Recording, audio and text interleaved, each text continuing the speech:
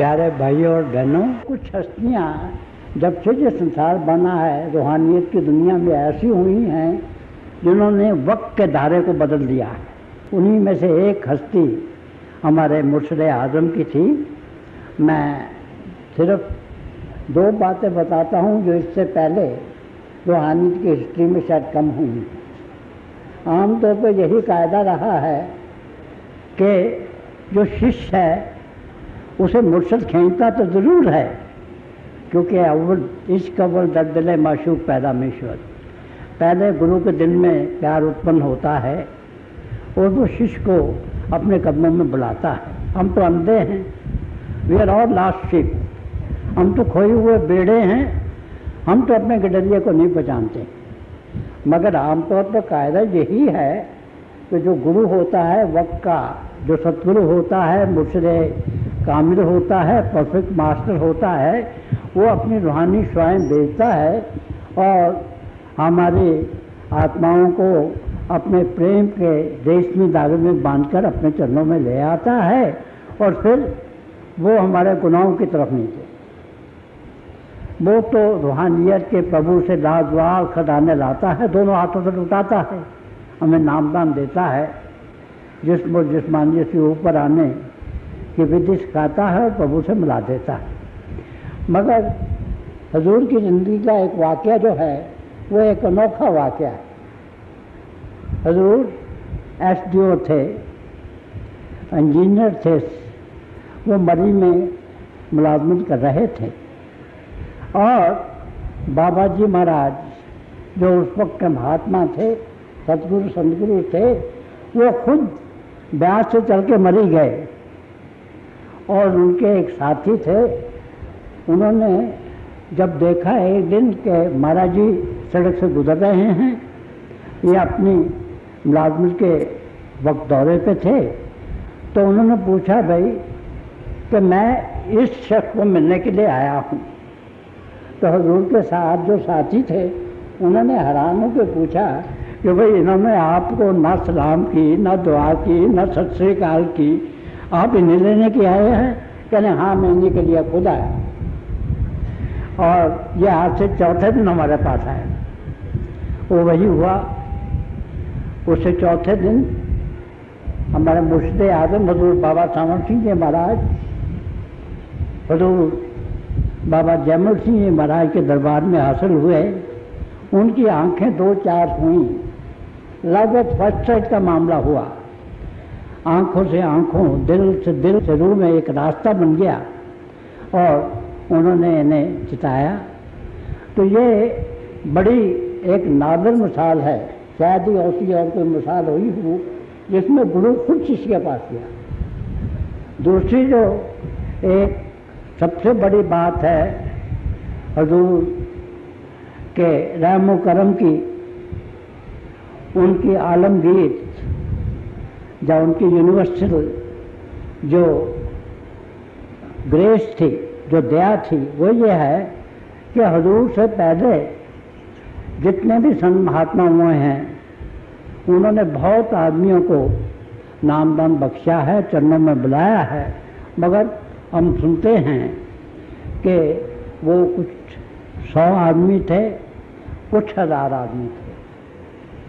हजूर की हस्ती पहले ऐसी हस्ती थी जिन्होंने लाखों, बल्कि करोड़ों के दिनों में रूहानियत की क्षमा रोशन कर। और इसके लिए मैंने एक शेर कहा था कि बतौफे क्षमा नूर अफशा, सफ़े परवाना भी आए और हजूम सरफरोशा बदले जाना ना भी आए फारसी का शेर है कि एक परवानों का हजूम लाइन लगाए हुए आप पे कुर्बान करने के लिए आ रहे हैं। और करोड़ों की तादाद में जो प्रभु के प्यारे हैं, जो प्रभु के दीवाने हैं, वो आपके दरवाजे पे आ रहे हैं। उन्होंने अपने सर को जो है अपनी हथेली पे रखा हुआ है और अपने दिल को उन्होंने अपनी मुट्ठी में समेटा हुआ है कि आपकी मदद कर। तो ये दो ऐसे मसाले हैं जो हमें कहीं नहीं मिलती हैं। अगर रूहानियत का इतने बड़े पैमाने पे किसी महापुरुष ने अगर बख्शिश किया है, प्रचार किया है तो हस्ती हजूर बाबा सावन सिंह जी महाराज की मेरी पैदाइश से चार वर्ष पहले हजूर बाबा सावन सिंह जी महाराज, संत प्रताप सिंह जी महाराज के अंतर में उन्हें दर्शन देते थे। महाराज जी दरिया के बड़े शौकीन थे। महाराज जी, ब्यास गए ब्यास के दरिया के घूमने के लिए जाहरा, अंदर में से लोग सब जानते हैं, मगर हजूर इस तरह से बयान किया करते थे महाराज जी। तो वहाँ के जो स्टेशन मास्टर थे, वहाँ बुआ दास जी, उन्होंने कहा कि क्या आप यहाँ के संतों से मिलने आए हैं? तो महाराज जी ने कहा, यहाँ कुछ संत भी रहते हैं। उन्होंने कहा हाँ यहाँ संत रहते हैं। तो महाराज जी दरिया के किनारे होते होते बाबा जयमल सिंह जी महाराज का जो डेरा था, वहाँ पहुँचे। वहाँ जब महाराज जी की आँखें दूर से दो चार हुई तो महाराज जी फरमाया करते थे कि मैंने कहा, यही तो शुरू में देख रहा हूँ, सात वर्ष से। और वही जो पहली मुलाकात थी उसमें, वही गुरु और शिष्य की मुलाकात, जिसमें गुरु और शिष्य एक हो जाता है, वो ऐसी मुलाकात थी महाराज जी ने हजूर से पूछा कि हजूर, इतनी देर क्यों? उन्होंने कहा, भाई, यही मुनासिब वक्त तो ये मेरी पैदाइश के पहले का ज़िक्र है कि हजूर का और महाराज जी का, अंदरूनी जो नाता था, वो कायम हो चुका था। उसके बाद धीरे धीरे मैं ज्यों मैं बड़ा होता चला गया त्यों त्यों मुझे इस रास्ते की कुछ समझ आती चली गई। हजूर की अपार दया थी। हजूर बड़ा प्यार किया करते थे। हजूर प्यार मुजस्म थे। हजूर प्रभुरूप थे। यह कहा जाता है कि God is love we being the essence of God we are also a part of God and the way back to God is also love और ऐसी हस्तियाँ तो जब आती हैं वो मुजस्म प्यार होती हैं मुजस्म इश्क होती हैं। और वही इश्क जो है, वो तमाम दुनिया के लिए वो उनको उभारने वाला बन जाता है। वो तमाम सृष्टि से प्यार करते हैं। लोग बहुत प्यार किया करते थे। मुझे याद है कि जब मैं छोटा सा था तो उस वक्त घर में जब मैं उठता था तो मेरी महाराज जी पिताजी, बाबूजी, में कहा करता था इन्हें और मेरी माता सुबह भी मैं उठता था, बैठे उठे थे बनी पे, और मुझे तो समझ नहीं थी। मैं भी ऐसे बैठ जाता था घूट मार के उनके साथ। तो उसके बाद ऐसा हुआ कि जब मैं पाँच वर्ष का हुआ तो मैंने एक दिन हजूर से अर्ज़ की मैंने हजूर, मुझे आप नाम बख्श दीजिए। तो हजूर ने बाज़ार से मंगा के मिठाई मुझे दे दी। अब देखिए दो लफ्ज़ हैं, एक है नाम, दूसरा है नाम। तो महाराज जी का ये ले लो, मैं बड़ा खुश हो गया। मैं वहाँ से भागता हुआ बाहर चला आया। बस जब मैं बाहर आया तो मुझे ये ख्याल हुआ कि भाई ये नाम वो तो नहीं है जो मेरे बाबूजी को दिया गया है, क्योंकि वो तो रोज़ बैठते हैं। तो मैं फिर भागा गया वापस। मैंने हजूर से फिर कहा, महाराज जी, आप मुझे नाम दें मैं वो नाम दें जो आपने मेरे बाबूजी को दिया तो हजूर ने कहा अच्छा भाई शाम को आ जाना। तो शाम को मुझे हजूर ने बुलाया। हम बच्चों को बुला लेते थे छोटे छोटे बच्चों को हजूर का कायदा था। तो अपनी कुर्सी पे वो विराजमान थे। मुझे साथ बैठा दिया, कह रहा, बैठ जाओ। यहाँ मेरे माथे पे हाथ रखा और कहा कि, देखो क्या देख रहे हो। तो आहिस्ता आहिस्ता मैंने देखा, रूहानी नज़र आते चले गए। जब मैंने सितारे देखे तो कहने लगे अच्छा भाई, ये अभी के लिए ये कायम काफ़ी है, इसके बाद देखा जाएगा। तो मैं वहाँ से बड़ी खुशी खुशी वापस आया और मैं वहाँ से सीधा भागा हुआ बाबू जी के पास गया। जो उस वक्त वहाँ एक रूप सिंह जी की दुकान होती थी, वहाँ हलवाई की दुकान, उसके पास खड़े थे। तो मैंने दूर से ही कहा कि बाबू जी बाबू जी आपको कब कहाँ तक नाम मिला है? मुझे तो सतारों तक नाम मिला। तो ये वाक्य था मेरे बचपन का, जो सिर्फ़ पाँच वर्ष की उम्र से शुरू हुआ। तो ये सिलसिला कायम रहा। उसके बाद मैं जब तेरह वर्ष का था तो वहाँ एक बहुत बड़े लीडर, उनका नाम था रंगीला जी, वो वहाँ आए। और उन्होंने महाराज जी से बहुत वक्त लास्ट किया और वो महाराज जी के मौतकित हो गए। और महाराज जी के जब मौतकित हो गए तो उन्होंने महाराज जी से नामदान मांगा। तो हजूर आमतौर पर सोलह से छोटे बच्चे को नामदान नहीं दिया करते थे। तो मैंने भी हिम्मत की, मैं छुट्टियों में गया हुआ था गर्मियों की तो गर्मियों की छुट्टियाँ मैं वहीं गुजारा करता था, तेरा बाबा जयमन सिंह जी में। तो मैंने कहा, महाराज जी, मुझे भी नाम दे दीजिए उन्होंने कहा आप भी आ जाइए। तो वहाँ और दो थे महाराज जी के अपनी फैमिली के मेंबर्स और उन्होंने भी नामदान दिया, मियाँ बीवी ने। तो हम चारों को हजूर ने नामदान दिया। और उसमें हजूर ने बहुत बख्शिश की, बहुत अच्छा तजर्बा हुआ। और वही जो महाराज जी के अपने भतीजे थे, जब हमारे हजूर नूर ज्योति जोत समाये तो उन्होंने मुझे खत लिखा कि मुझे अच्छी तरह याद है कि जब आपको नाम मिला था, आप बहुत छोटे थे, उनका लेटर है मेरे पास।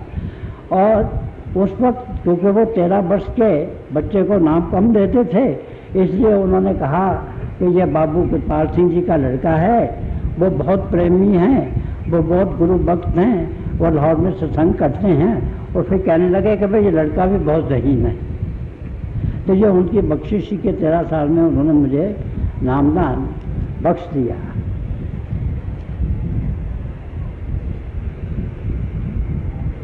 अब हमें बच्चों को रोज बड़े प्यार से मिला करते थे, हमारे गल पाते थे। हमारे सर पे हाथ फाड़ते थे, हमें काका कहते थे जेंटलमैन कहते थे। तो एक ऐसा वाक्य हुआ कि मैं जब छोटा ही था तो मैं कुछ बीमार हो गया। तो हमारे एक चचा थे, डॉक्टर हीरा सिंह जी। वो रावलपिंडी के पास पूरी एक जगह है, वहाँ वो इंचार्ज थे, वहाँ के डिस्पेंसरी के। तो महाराज जी ने मुझे कहा कि भाई कुछ दिन के लिए डॉक्टर ने कहा है आबो हवा बदल के वहाँ चले जाओ। अब मैंने कहा जी, मैं तो नहीं जाऊँगा। बच्चा था छोटा सा, मैं उस वक्त से चौथी में पढ़ता था। तो महाराज जी ने कहा, नहीं, चले जाओ।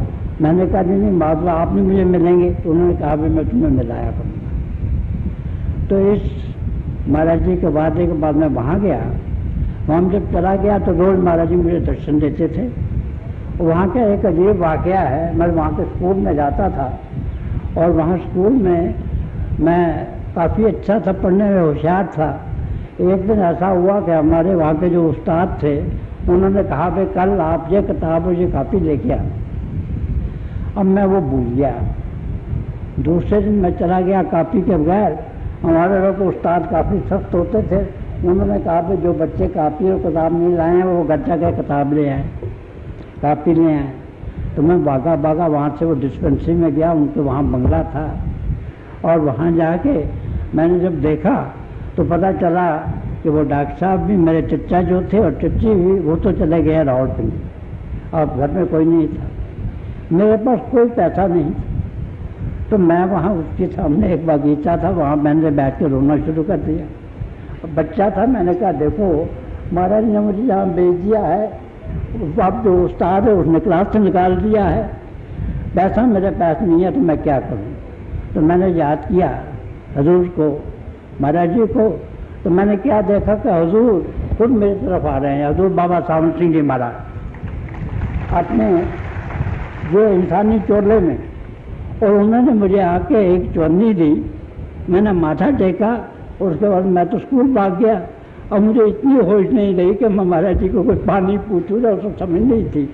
और मैंने रास्ते से वो जो भी कापी वापी थी वो दी और मैं स्कूल में चला गया। उन्हीं दिनों का वाक़ है, तकरीबन कि हमारे मुर्शद आज़म उन्नीस सौ अट्ठाईस या उनतीस में हमारे गाँव में गए।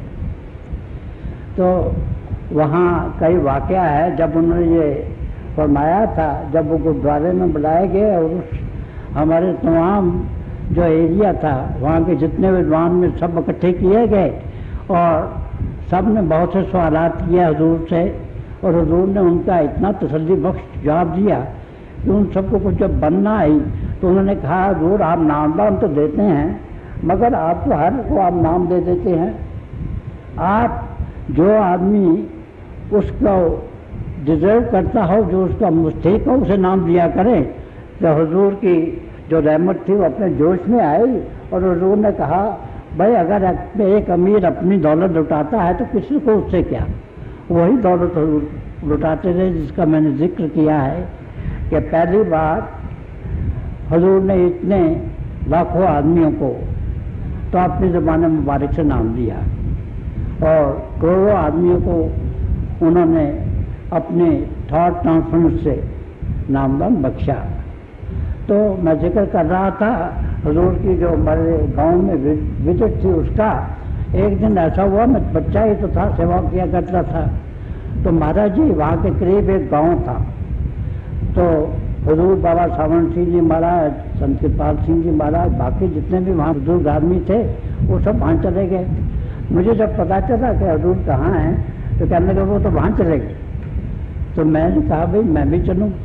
और वहाँ एक तो रास्ता था, बड़ा लंबा जो जाता था। एक हम कहते हैं, डक्की एक पहाड़ी थी, बड़ी स्टी बड़ी काफ़ी गहरी थी। तो मैंने जो क्या किया? तो वो पहाड़ी से बजाय इसके लंबे रास्ते से जाऊँ, मैंने पहाड़ी से नीचे भागना शुरू कर दिया। और कुछ देर तक तो मैं भागता चला गया। उसके बाद मेरे पाँव लड़खड़ा गए। जब जाकर गिरा तो मुझे हजूर के चरणों में गिरा मैं। तो हजूर ने मेरे गले में लगा दिया और हजूर ने फरमाया कि तू मेरा प्राणा यार है। या मेरे पुराने दोस्त हो। ये सिलसिला जो होता है, यही नहीं, महापुरुषों का होता और हजूर अक्सर कहा करते थे कि जब कभी संत महात्मा आते हैं तो वो अपना स्टाफ जो है, वो अपने साथ लाते हैं। मैं उनकी रहमतों का ज़िक्र कर रहा हूँ। और एक नहीं रहमतें तो हर एक पे हुई हैं। क्योंकि आज मेरे ख्याल में यह आया कि कुछ मैं अपनी ज़िंदगी के कुछ वाक़ात बयान कर दूँ जो उनके चरणों में हुए। इससे अंदाज़ा होना चाहिए आपको कि हजूर हर एक इंसान से कितना प्यार करते थे। हम सब बच्चे इकट्ठे खेला करते थे तो हजूर बड़ा प्यार करते थे। इसी तरह से जब मैंने मेट्रिकुलेशन पास की तो मेरे बड़े मार्क्स आए और स्कॉलरशिप भी आया। तो सब ये सवाल था कि मैं आगे क्या पढ़ूँ? तो महाराज जी ने कहा, चलो हजूर के पास चलते हैं, वहाँ चल के फैसला करते हैं. महाराज जी मुझे हजूर के पास ले गए। और मेरे ख्याल में यही था कि पचहत्तर परसेंट से ऊपर मेरे मार्क्स थे तो उस वक्त कहीं भी आप मेडिकल में चले जाएँ, इंजीनियरिंग में चले जाएँ, कहीं चले जाएँ, हर एक कॉलेज में मेरा दाखिला हो सकता था। तो मेरे ख्याल में यही था कि मैं कोई डॉक्टर बनूँगा या इंजीनियर बनूँगा। तो मतलब महाराज जी हजूर के चरणों में ले गए। अब हजूर ने जब बताया नतीजा तो हजूर ने बहुत शाबाश दी, कहना भाई, मुझे तुम पे बहुत फख्र है, बहुत प्यार किया। वो हमारे गाल तक पाया, करते थे, छाती से लगा लिया, करते थे।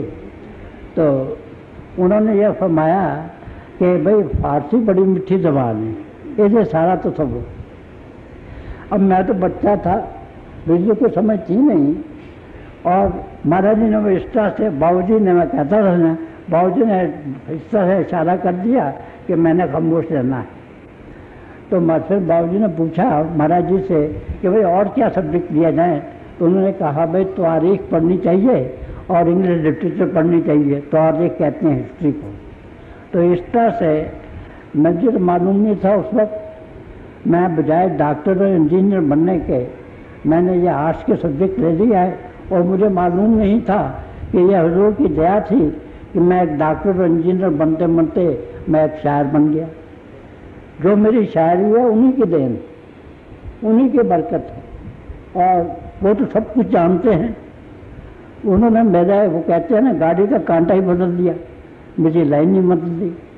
ये उनकी बख्शिश थी धीरे धीरे, जो कि आहिस्ता आहिस्ता अब कंपैरेटिव स्टडी ऑफ़ रिलीजन और पोइट्री की तरफ़ जिसने मुझे मायल कर दिया। तो उसके बाद का एक वाक़ है कि मैंने कॉलेज के ज़माने में कुछ थोड़े थोड़े शेर कहने शुरू कर दिए थे। अब उस वक्त मैं शेर तो नहीं कह सकता तो बंदी शुरू कर दी थी। तो बाबूजी घर में वो देखते रहते थे। कभी कभी वो हमारा कॉलेज का मैगजीन था, रावी। उसमें भी कुछ मेरी गदले बदले उस वक्त छाया होती थी। तो एक दिन शाम को महाराज जी मेरे पास आए बाबू जी तो मेरा कमरा आगे था, मेरे बाबू जी का कमरा पीछे था। तो मैं वहाँ रात को आते थे, दस ग्यारह बजे पूछते थे मेरे पढ़ाई के मतलब और भी बात करते थे कहने को भी दर्शी, तू शेर कहने शुरू कर देते हैं। मगर महाराज जी मैंने से आगाज़ किया है तो बंदी करता हूँ मुझे तो कुछ आता नहीं है। तो उन्होंने फरमाया कि हजूर का जन्मदिन सताईस जुलाई को आने वाला तो मैंने समझा, ठीक है, महाराज जी कहते होंगे। कहने लगा, भाई तुम महाराज जी नरम कहो। और मेरा सर से पाँव तो खींचना छूट गया। और मैंने तो कोई अभी शायरी का आगाज़ भी नहीं किया था। और भाई वो बचपन का ज़माना था। तो मैंने कहा, जी, जो मेरे पुत्र की तो बात है नहीं। कहने का नहीं, भाई, शुरू तो करो। तो महाराज जी ने एक मुझे मिसरा दिया। कि भाई खुदा का नूर सावन में बड़ा मालूम होता। तो मैंने कहा, जी, मेरे लिए बहुत मुश्किल है। तो बाबू जी ने कहा कि भाई शुरू करो, महाराज जी की दया से चलेगा। तो मैंने आहिस्ता आहिस्ता वो गज़ल शुरू कर दी, आहिस्ता से वो गज़ल होती चली गई। उसमें कुछ बाबू ने करेक्शन कर दी और जब हजूर के हम जन्मदिन पर पहुँचे रणजीत साहब ने नज़म पढ़ी, मैंने भी नज़म पढ़ी। तो उस पर महाराज जी अक्सर ऐसा किया करते थे कि जब उनकी तारीफ़ में नज़में कही जाती थी, जब कुछ उनकी तारीफ़ में कहा जाता था तो महाराज जी चुप रहते थे। और वो अक्सर कहते थे, भाई, मेरी, आप ये शान, क्या चाँद में बातें कह रहे हैं? मैं तो इस काबिल नहीं हूँ। महाराज जी, मैं नम्रता जो थी, वो हद से ज़्यादा थी। ये तो बाबा जी की तारीफ़ है। तो ये हजूर की ऐसी बख्शिश थी कि उसमें से मुझे तीन शेर महाराज जी ने खुद कहा कि भाई इसे फिर पढ़ो। और उर्दू शायरी में सबसे ज़्यादा जो तरीका है, किसी को दाद देने का वो ये है कि आप यही कहते हैं कि जी आप इसे फिर पढ़ लीजिए। तो बख्शिश हजूर के बाद, उसके बाद ऐसा हुआ कि हजूर के अपने निजी घर के जितने फ़ंक्शन होते थे, हजूर का जन्मदिन होता था, वो फ़ंक्शन बेदेने में होते थे। तो हर एक में मैंने आहिस्ता आहिस्ता नजमें पढ़नी शुरू कर दी। और महाराज जी, कई दफ़ा फरमा देते थे कि उनके घर में जो कोई फ़ंक्शन होता था तो कि भाई ये नज़म एक लेके आना। महाराज जी बहुत खुश होते थे और बहुत दाद देते थे, क्योंकि महाराज जी बहुत बड़े आलम थे फारसी के। फारसी का इतना बड़ा आलम मैंने नहीं देखा। मेरे जो उस्ताद थे, वो हिंदुस्तान के बहुत अजीम शायरों में से और बहुत बड़े आलमों में थे, सूफी गुलाम मुस्बा तबसुम और मैंने बहुत बहुत जो आलम में सब देखे हैं, मगर जो फारसी के अबूर हजूर को था, वो किसी को नहीं। और यह हजूर की बहुत बड़ी देन है कि उनने जो जो काम शुरू किया था, ये आगे ही आगे बढ़ता चला जा रहा है। तो मैं बात कर रहा था हजूर की दया की, हजूर की मेहर की, हजूर के कर्म की। तो उसी में ये है कि उन्हीं की दया है। कि ये काम आज तक चल रहा है, जो फल फूल रहा है, और आज दुनिया का पत्ता पत्ता कदे कदी फूल फूल, वो कृपाल कृपाल और सावन सावन पुकार रहा है। और यहाँ आप जहाँ भी बैठे हैं, आप उन्हीं का गुणगान कीजिए, उन्हीं का ख्याल कीजिए, उन्हीं का ध्यान कीजिए, उन्हीं का सिमरन कीजिए। और इस वक्त से आप पूरा पूरा फ़ायदा उठाइए। और मैं उन दो महापुरुषों के चरणों में, कि जिन्होंने मुझे, मुझ जैसे गुनागार को अपने पाए अकदस में बैठने का शरफ बख्शा, उनके चरणों में ये प्रार्थना करता हूँ कि वो सब सबको ये ताकत दे, ये तोफीक दे कि हम उनकी तालीम पे चल सकें। उन्होंने यही बताया है कि हमारा जो जीवन है, वो अहिंसा का होना चाहिए। हमारा जो जीवन है, ब्रह्मचर्या का होना चाहिए, सच्चाई का होना चाहिए नम्रता का होना चाहिए। हमें हर वक्त निष्काम सेवा कर लिए तैयार होना चाहिए।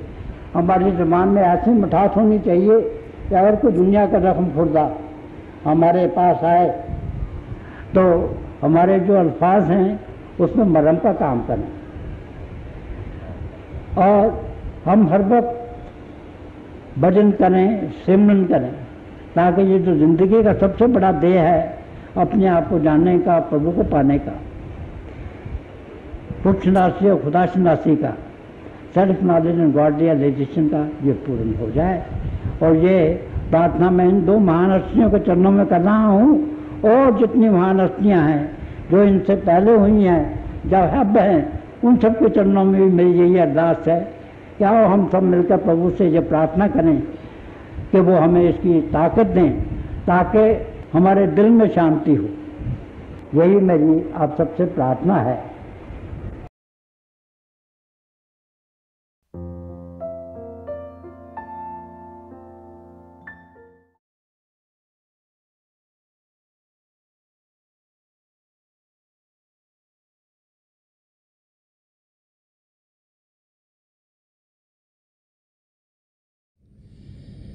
प्यारे भाई और बहनों, हम सब बड़े खुशकिस्मत हैं कि हमें दयालपुर संत दर्शन सिंह जी महाराज के दिव्य वचन सुनने को मिले। जो जो भी उनसे मिला, उसने यही अनुभव किया कि संत दर्शन सिंह जी महाराज ने उनसे सबसे ज़्यादा प्रेम किया। वो बार बार समझाते थे कि प्रभु प्रेम के महासागर हैं। हमारी आत्मा उनका अंश होने के नाते प्रेम से भरपूर है। और प्रभु के प्रेम के ज़रिए ही हम अपनी आत्मा का मिलाप परमात्मा से करवा सकते हैं। तो प्रभु का प्रेम हम सबके भीतर चल रहा है।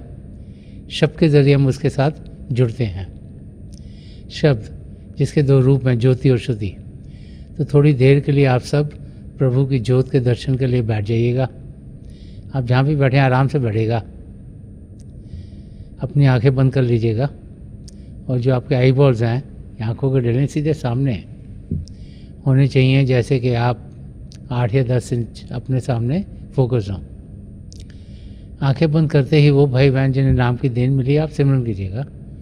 और जो भाई बहन नए हैं, वो पिता परमेश्वर के किसी भी नाम का जाप कर सकते हैं।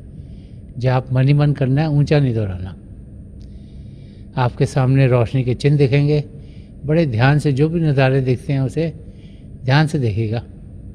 और आप देखेंगे कि दिन ब दिन जैसे जैसे आप अभ्यास करते चल जाएँगे, आपको अंदर में प्रभु की ज्योति, आसमान, सितारे, चंद्रमा, सूर्य और बहुत से नज़ारे देखने को मिलेंगे। जब हम इन नज़ारों को देखते हैं तो हमें शांति मिलती है। प्रभु के प्रेम का अनुभव होता है। और हम अपनी मंजिल की ओर बढ़ना शुरू कर देते हैं। थोड़ी देर में मैं आपको इस अभ्यास से उठाऊँगा।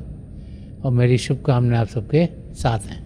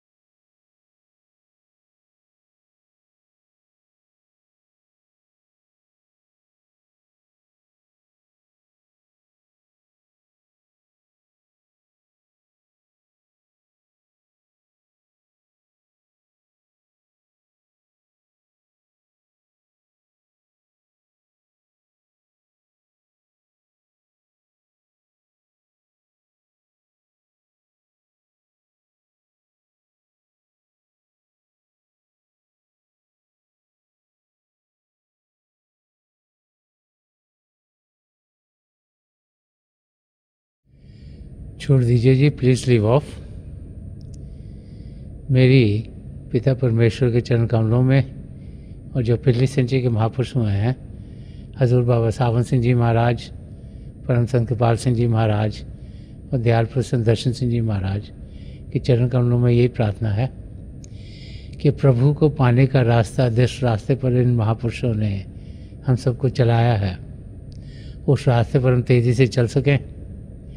इन महापुरुषों की दया कृपा हम सब पर बनी रहे ताकि हम अपनी मंजिल को बहुत ही जल्दी पा लें।